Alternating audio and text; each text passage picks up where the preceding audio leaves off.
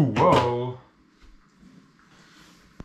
It's back day. Gonna keep this short so I can get my stuff ready. Get get in the whip. Get going. Um.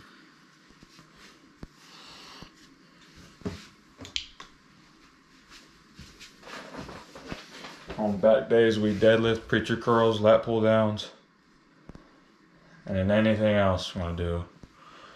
Deadlifts covers back, preacher curls covers biceps, and I'll do standing biceps, whatnot.